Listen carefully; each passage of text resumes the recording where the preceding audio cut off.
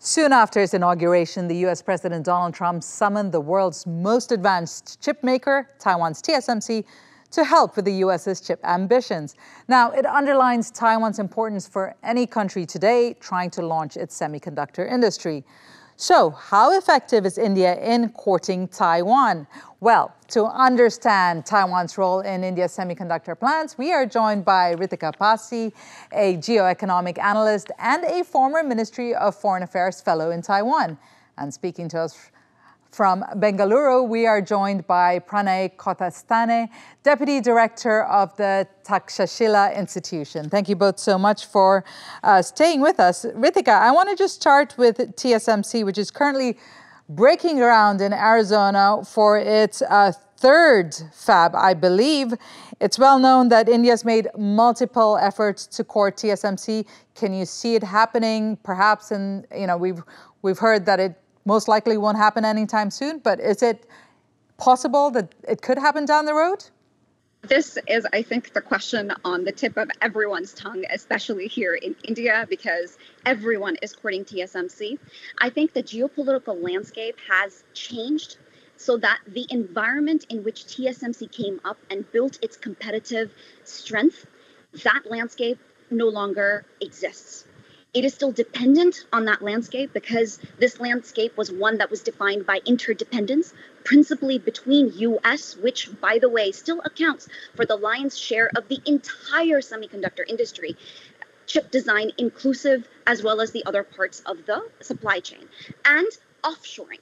That played a key role in now the strength that we see in in Asia and in Southeast Asia.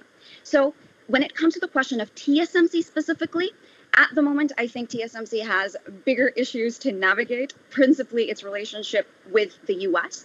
Also, Japan is now looking like a, a second uh, core area of focus outside of Taiwan after the US. There is some conversation about investments in Southeast Asia, not so much TSMC specifically, but the broader Taiwanese semiconductor industry. So, in the short run, I doubt that it will happen, but I think the geopolitical landscape is changing. It's introducing an element of uncertainty with respect to the US China trade and tech rivalry. And of course, now Trump's 2.0, Trump 2.0, and his tariff policy. That uncertainty lends greater credence and legitimacy to this argument that India could be a good alternative, could be a safe, certain bedrock for semiconductor production.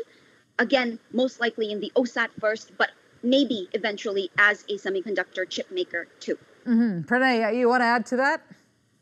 Yeah, I think from the Indian perspective, TSMC is not the main focus, and it shouldn't be either because Taiwan is not TSMC. There are UMC, there's PSMC, there is ITRI, there is uh, also, of course, the ASE and other OSAT players. So the focus of the Indian government policy, as I said in the beginning, was let's see, we'll give more incentives if you're doing really cutting edge chip production. This was when the policy was first launched in December 2021. By September 2022, the government realized that everyone is chasing TSMC. Mm-hmm. So they modified the policy such that even if you're doing uh, trailing edge stuff, you get the same amount of incentives. Even if you're doing an OSAT, you get the same amount of incentives as you would if you were making the most cutting edge chips. So that kind of thing changed the focus. And now the government policy is, and this is a stated intent that they want to build this uh, at the trailing edge first and not so much focus on the leading edge stuff. So that's why I think from the Indian perspective, ITRI, UMC, PSMC, these are okay. more important all right, so so let's go to the Taiwan perspective. Now, a few Indian companies, including state-owned Hindustan Aeronautics Limited or HAL, has been accused of rerouting sensitive technologies to Russia since the Ukraine-Russia war began. Uh, there have been a few other issues that could deter Taiwanese companies. Can you, how, much is that playing into the thought process of whether Taiwan companies will get involved in India's semiconductor drive, Pranay? I don't think that's a major concern as of now. Uh, the main main issue is again if it, it is profitable for these firms to invest in India and see the benefits of it coming soon enough, right? That's the major concern. Mm-hmm. If there are concerns regarding uh, leakage, etc., that can be addressed when the plant is being built up and uh, having cybersecurity regulations, etc., like the US and India are talking about. Uh, so there is precedent for that. US and India already interacting a lot the Russia thing is not the main uh, issue. There are ways to mitigate it. So I don't see why that can't be done in the India Taiwan partnership as well. Okay, so before we move on, let's have a look at what India can learn from Taiwan's semiconductor journey. And here's Eric Pang, the director of the Taiwan Chamber of Commerce in Delhi. He is also the international business development head of Mumbai headquartered Canscorp Engineers Private Limited. Taiwan faced uh, several critical um, challenge that offer, you know, a cautionary lesson for India. First, uh, a talent drain. Um, you know, uh, in, in, its early years, uh, Taiwan lost eng- engineer to U.S. Uh, and Japan. So Indians should, uh, uh, you know, should should know and plan to avoid this situation. second, infrastructure bottleneck um, water and power storage, uh, you know, uh, Tritton's fab uh, operation, uh, Taiwan built reliance through um, the um, delicate uh, ut- utility uh, corridors. So India must uh, prioritize, you know, stable and fab grade utilities and logistics Ritika, uh, which phase is India currently navigating in its uh, semiconductor endeavor? It started in the 1980s, but that was mostly uh, military for military purposes. Where are we in, in commercial semiconductor production, if at all? So I think this entire conversation that we've been having has made it very clear that India's approach is not like what Singapore did, South Korea did, or Taiwan did. That India is reaching out to implement and buttress and build several parts of the semiconductor supply chain and value chain. I think there are three or four considerations or points that are important to note if anyone were to ask, you know, where does India stand currently? What phase it's in, you know? One, that it's targeting across the supply chain, right? Second, that it is investing heavily in chip design talents and to actually build indigenous intellectual property with that talent. Three, that it is supplementing this involvement with MOUs uh, with other countries, such as with Singapore, with US, with EU. Um, there's even interest, for example, that has been evinced from Malaysia in cooperating with, with India. Uh, it is also trying to develop clusters. So, Gujarat, we've mentioned. There is also another state, Assam, where there is likely that a, a second cluster could emerge. And uh, individual states also are pursuing these MOUs and these engagements with um, strong companies and countries that have proven track record. And of course, the last part, which is the longer term investment, which is in skill and education. It's not just about skilling existing engineers and upgrading their capacities, but it is also inking, for example, university collaborations between Taiwan and India to train talent for the upcoming future. Mm-hmm. Uh, Pranay, you know, uh, China had the benefit of Taiwan talent and technology in the even in the earlier days, uh, but how much?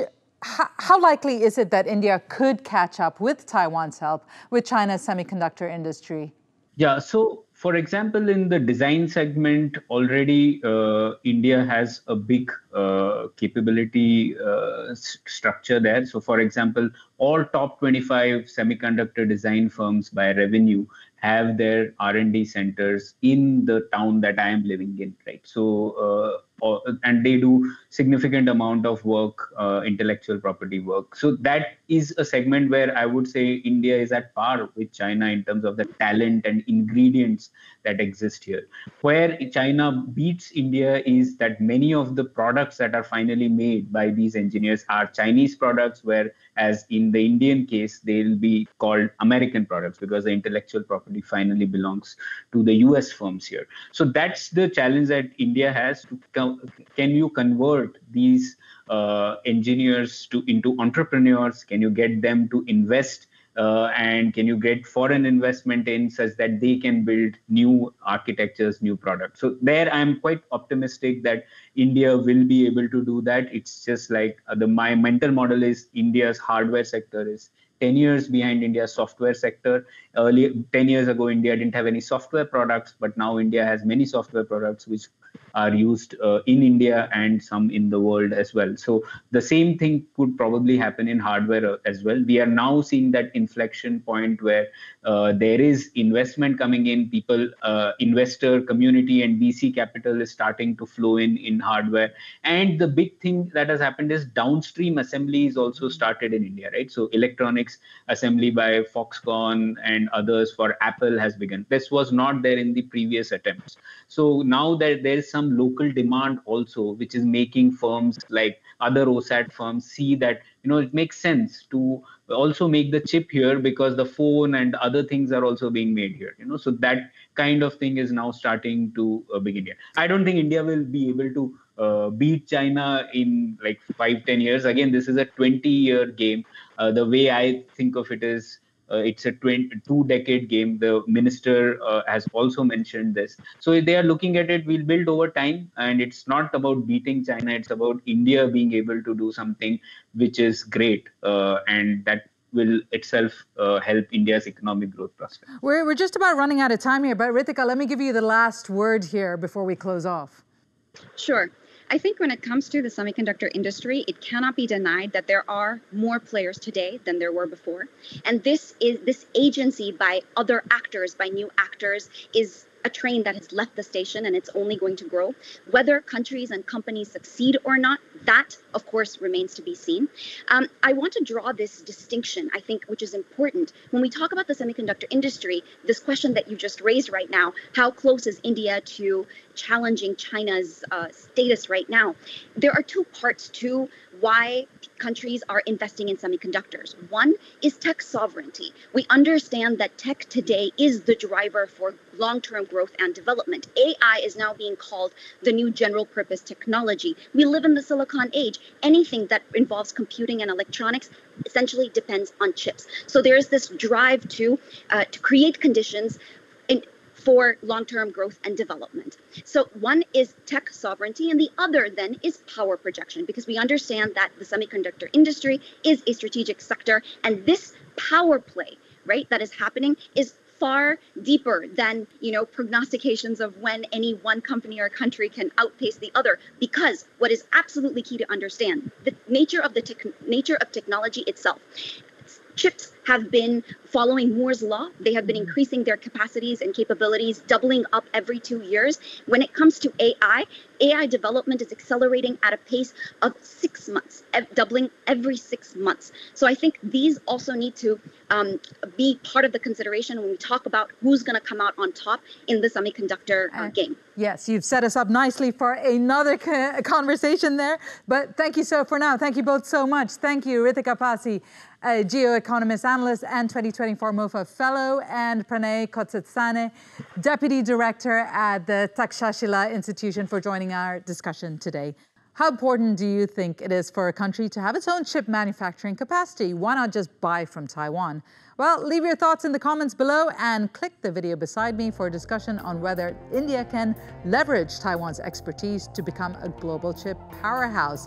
Now, if you don't want to miss more stories on tech and finance from Taiwan, subscribe to our channel and click the notification bell.